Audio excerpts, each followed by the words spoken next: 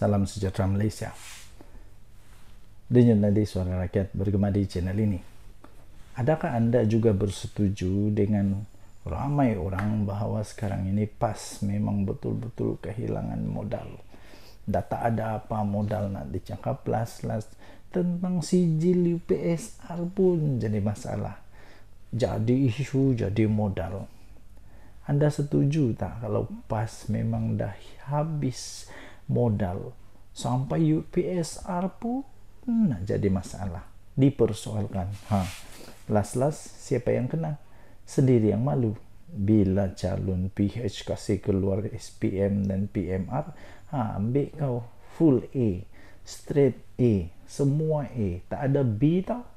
Ha kalau tanya calon PN macam mana? Ha calon PN macam mana? Hmm. Dan terbaru ini. Ha terbaru ini pemuda PH pula membidas ketua penerangan PAS. Siapa lagi kalau bukan Ahmad Fadli Sari? Kerana cuba-cuba mempolitikkan latar belakang pendidikan calon daripada PH pada pilihan raya PRK Kuala Kubu Baru Pangsok Hak Tahu.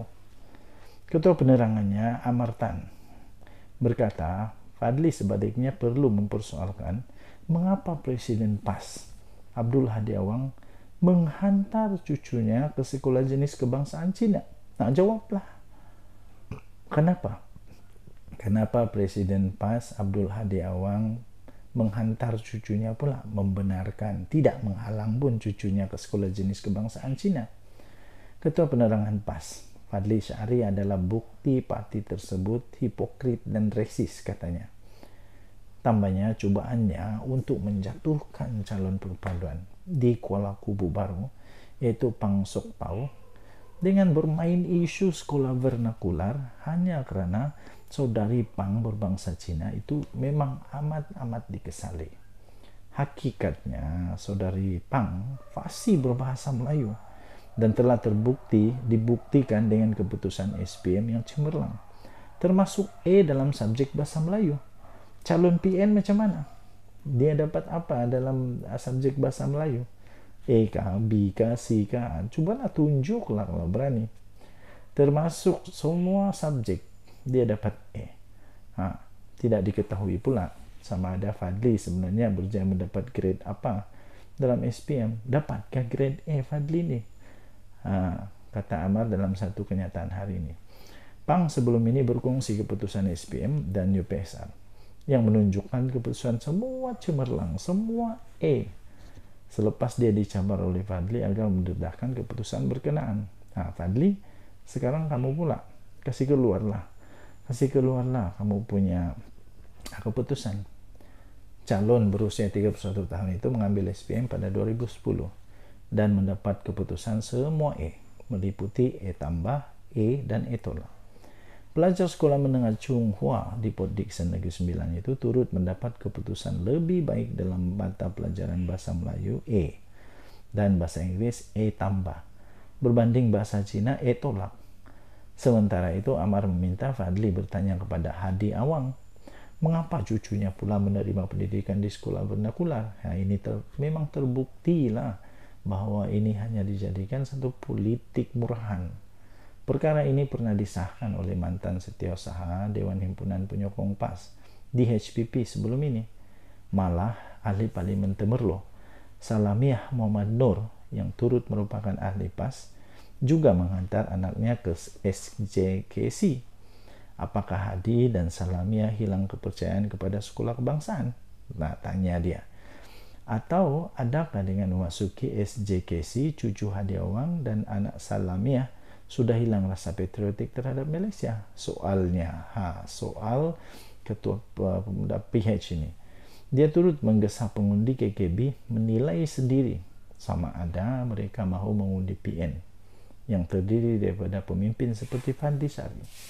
Bukan budaya kita untuk membenih rasa benci terhadap kaum lain katanya. Kepada Fadli katanya, mesej saya kepada anda resis dan hipokrit simpan tepi katanya. Ha. Okey jadi ini adalah soalan pertanyaan daripada ketua penerangan Amartan ketua penerangan pemuda PH ha. Jadi jawablah.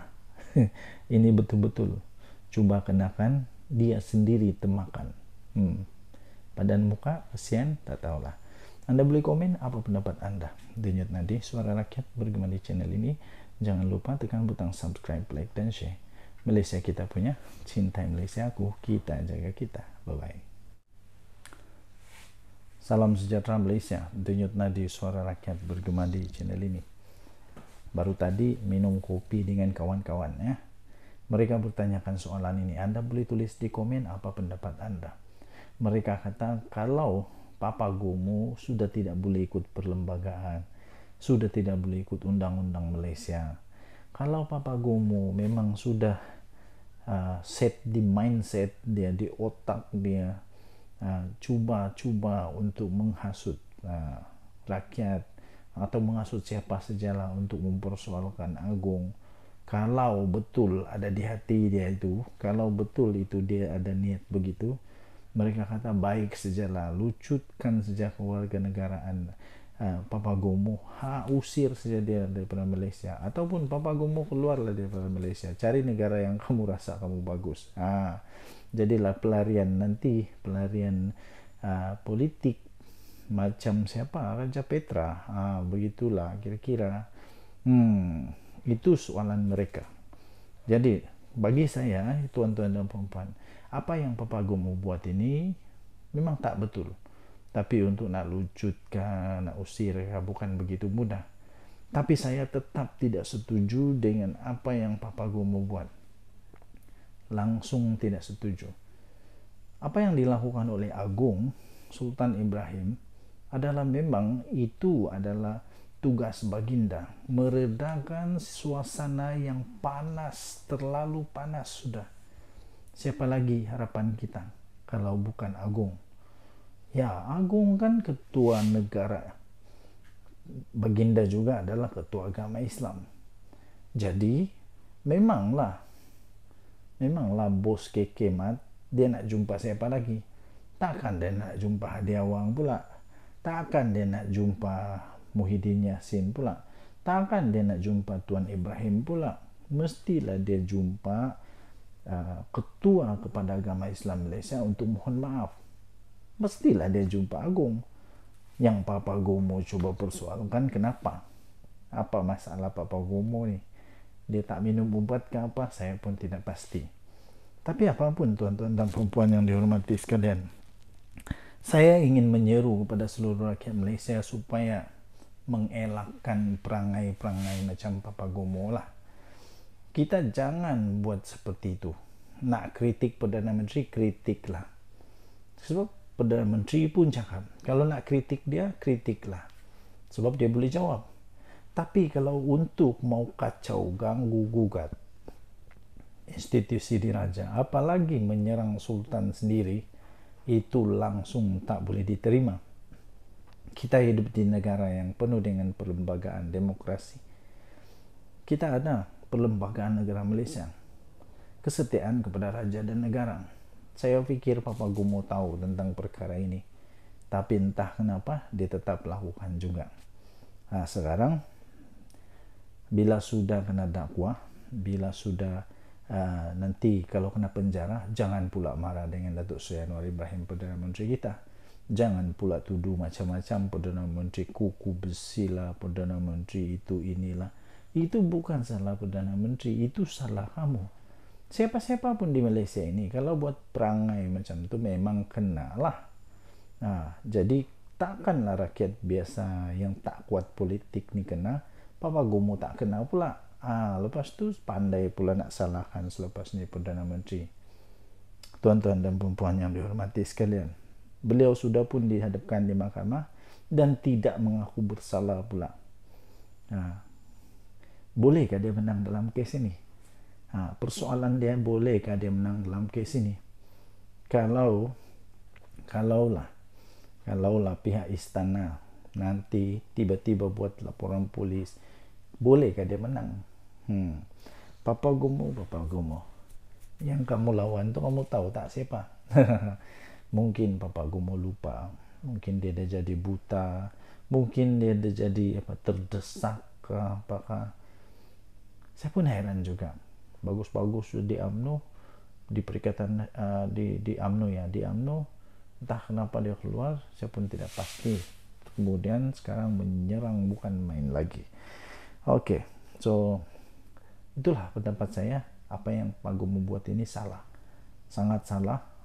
Kalau betul-betul dia ada niat begitu memang salah. Itu kalau dia ada niat begitulah. Tapi apa niatnya kita pun tidak tahu biarlah mahkamah yang menentukan. Memang salah apa yang dia buat tetapi untuk nak lucutkan nak usir dari Malaysia bukan begitu mudah. Kita ada perlembagaan kita ada undang-undang.